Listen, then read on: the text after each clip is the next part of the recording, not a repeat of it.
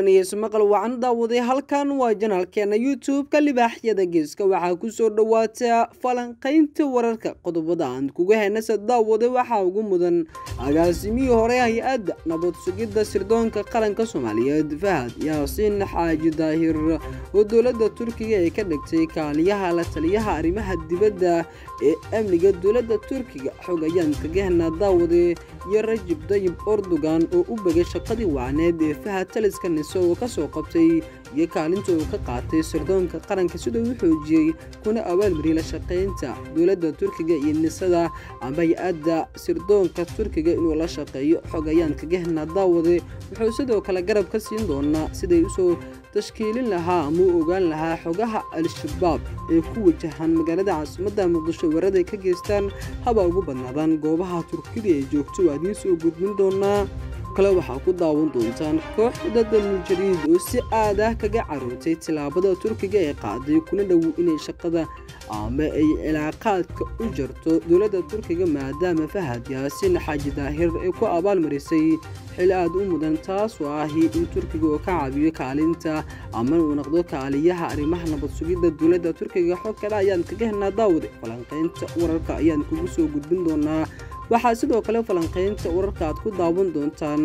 ciidanka dowladda federaalk soomaaliya oo kaashanaya ciidamada deegaanka laba horjoogo oo waaweyn. Al-shabaabna uga arriminaya amba amiire ka ahaa gobollada ba iyo bakool ayay gowraceen ciidanka xoogga dalka. Muuqaalo argagaxle ayaad arkaysaa iyo hogaamiyaashaas oo qoortooda loo saaray xabadka iyo qawaariijta oo jab xooggan ay soo gaarta daawada falanqaynta aan kugu soo gudbin doonaa qodobadaas iyo qodobo kaloo xasaasi ah ayaa idiin henaa nala sii jooga oo sii daabo falanqaynta wararka daawade. Halkan si aan ku xasuusiyo waa janaalkeena youtube-ka libaaxyada geeska haddii ay tahay markii kugu horeysay ku soo gaaray. Sabscribe janaalkeena sidoo kale muuqaalkan leeg saar. Toos aragtaada inoogu reeb waa inoo muhiim daawade mahadsanid aan ku bilaabno madaxweyne rajib dayib ordogan warqad ka soo baxday wasiirka arrimaha gudaha ayaa lagu sheegay in madaxweynaha dalka turkigaba uu magacaabay fahad yaasiin xaaji daahir kaaliyaha arrimaha sirdoonka arrimaha ee dibadda dowladda marnahay ee turkiga. Fahad yaasiin xaaji daahir oo howlo shaqo u jooga ankara ayaa boos jagaaya ka helay dowladda turkiga iyo qaab la shaqaynta kaaliyaha arrimaha sirdoonka ah ee dibadda isagoo soo dhabeeyay tilaabadaasi. Waa arrin aada u wanaagsan kudayashana mudan. Fahad yaasiin xaaji daahir ayaana markaan u dhaqaaqay tilaabadaas iyadoo ay la micno tahay in fahad markaan wixii ka dambeeyo oo kaalin mugii miisaanle uu ka geysanayo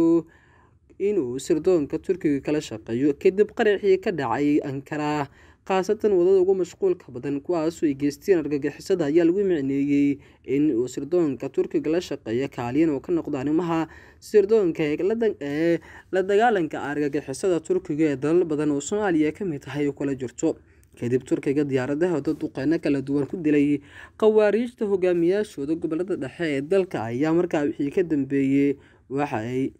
absi aada u xoogan la soo diristay shaqaalaha turkiga ee ku sugan muqdisho gaar ahaan kuwa rajab dayib ordogan ekis digfir ka shaqeeya safaarada turkiga iyo yardameeli balse marxaladu hadda way ka sii dubanaatay oo ankara dhexdeeda ayay alqaacida ka geysatay. Qarax aada u xoogan taas oo in ka badan konton qofood ay ku geeriyootay halka boqol ku dhowaadne ay ku dhaawacantay waddada ugu mashquulka bada texas ee gobolka ankara ama magaalada ankara ayuu ka dhacay qaraxni. Kadibse turkigu ayaa marba marka ka dambeysa sii xoojinaya sirdoonkooda arrimaha dibadda iyo kaaliyaal badan qortay. Fahad yaasiin xaaji daahir oo shaqola-aan ah balse kaalin wanaagsan ka soo qaatay in uu hay'adda sirdoonka qaranka ee soomaaliya oo sharaf iyo sumcadda dib u soo celiyo taasoo noqotay tobanka hay'adood ee sirdoonka afar iyo kontonka dale afrika ee ka soo gashay kaalinta shanaad. Tan iyo markii fahad loo magacaabay xilkan laba kun sagaal iyo tobankii wuxuu geeyey meel wanaagsan taasoo kuusii muujin kartay in laga baqay sirdoonnimada soomaaliya. Dalal ay ka mid tahay kenya rawanda uganda ay ka baqeen awood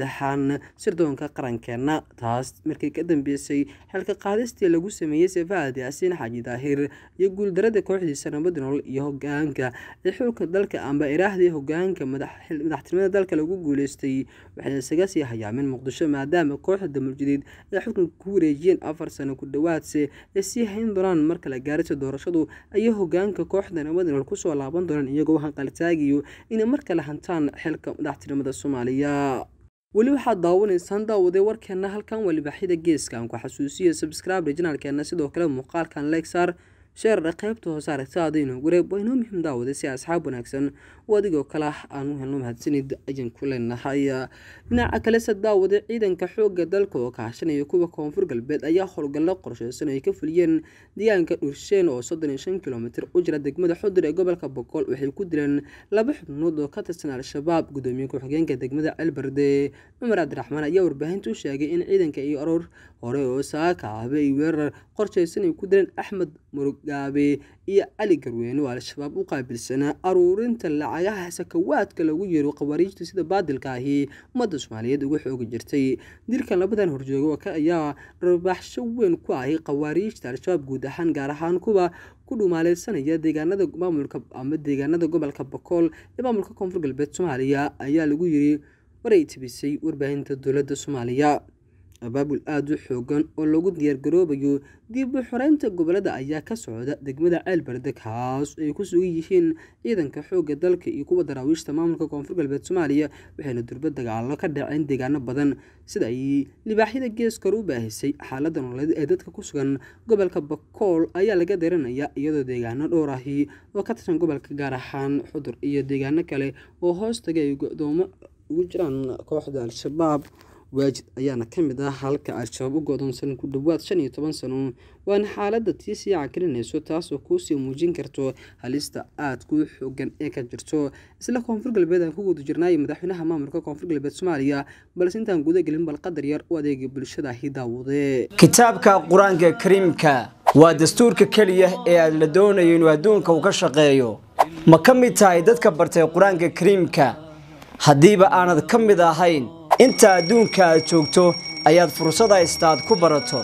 Haddiibaad ka cabanayso inaad labada gelinbaad shaqayso isla markaana aanad haysan wakhti aad ku barato. Waxaa lagu hayaa dugsiga al-iqra' qur'aan online oo aad dugsi hab ooleyna lagu barto qur'aanka kariimka. Wakhti kastood haysato waxaad hab ooleyna ku baran karaysaa dugsiga al-iqra' qur'aan online. Waa dugsi fac weyn oo ay ka shaqeeyaan macallimiin isugu jir rag dumar kuwaasoo waxbara ardayda qurbaha ku nool iyaga iyo weliba waalidiintoodaba iyo qof kastaoo ka cabanaya jaanis uu qur'aanka uu ku barto ku waayey. Haddaba duruusta kala duwan ee dugsigani ka baxa waxaa ka mid a barashada culumta qur'aanka kariimka barashada higaadda afka carabiga barashada afkeenna soomaaliga iyo barashada culumta shareecada islaamka sida fiqiga axaadiista tafsiirka iyo weliba ducooyinka. Haddaba jaaniskaaga ka faa'iidayso oo hadda isdiwaangeli dugsiga al-iqra' qur'aan online. Ballanteennu waa inaad ka faa'iidaysto isla markaana wax ka barato dugsiga al-iqra' qur'aan online. Aan halkaasi kaga soo laabano qadarkaas ir adeega bulshada ugu dambeyntii hogaamiyaha maamulka koonfur galbeed soomaaliya cabdilcasiis xasan maxamed laftigareen ayaa soo dhaweeyey baaqi oo dhowaan uu jeediyey gudoomiyaha golaha shacabka shee aadan madoobe aadan madoobe oo deegaan ahaan ka soo jeeda koonfur galbeed soomaaliya ayaa dhowaan iclaamiyey shir guud oo lagu arrinsanayo xiisada siyaasadeed ee ka taagan maamulkaasi taas oo ka dhalatay muddo kororsi uu sameeyey madaxweyne cabdilcasiis xasan maxamed laftigareen qoraar ka soo baxay madaxtooyada koonfur galbeed soomaaliya ayaa lagu sheegay in madaxweynaha uu soo dhaweynayo baaqa gudoomiyaha iyadoo la xeerinayo mudneynta siinta danaha koonfur galbeed iyadoo la tixgelinayo kacdoonka shacabka laguna dagaalamayo kooxda al-shabaab khawariijta oo ay hogaaminayaan ciidanka xoogga dalka iyo ciidamada daraawiishta koonfur galbeed soomaaliya si looga ciribtiro dalka iyo dibaddaba ayaa lagu yiri qoraalkan lagu sheegay arrimaha mudnaanta u leh maamulka. Sidoo kale wuxuu madaxweynaha aqbalay baaqan iyadoo la xaqiijinayo guulaha dhismaha dowladnimada ee lagana maarmaan u tahay midnimada shacabka sida lagu sheegay qoraalkani. Xafiiska madaxweynaha ayaa waxauu soo dhaweeyey baaqii gudoomiyaha golaha shacabka ku aadanaa inay siyaasiyiinta reer koonfur galbeed ee ka biyajigsadaan in waqti xaadirkan u hanqaltaagaan arrimo doorasho maadaama guud ahaan dalku uu ka socdo guluf dagaal kaas oo lagu soo ciribjarayo al-shabaab ayadoo la tixgelinaya ayay ku sheegeen sidoo kale wuxuu madaxweynaha aqbalay baaqan. Xafiiska madaxweynaha wuxuu soo dhaweynayaa baaqii uu gudoomiyaha golaha shacabka ku baaqay wakhtiga shirka u furmayo waa idinla soo wadaagi doonaa gudoomiyaha golaha shacabka ayaa horey ugu baaqay dhinacyada isku haya koonfur galbeed iyo bulshada rayidka inay ka soo qaybgalaan shirkan lagu arinsanayo masiirka maamulka. Koonfur galbeed ayaa wajahayso xaalad siyaasadeed oo aada u xakiran taas taas u dhexeysa madaxtooyadii siyaasiyiinta mucaaradka ee fadhigoodu yahay muqdisho waxayna xiisadu ka sii dartaa kadib muddo kordhi laba sana ahi oo loo sameeyey cabdilcasiis xasan maxamed laftgaren taas oo ku aadan in wakhtiga mudaxileedkiisu ay ku eg tahay bisha soo aadan ee disembar ama dabayaaqada bisha labiyo tobanaad ee sanadkani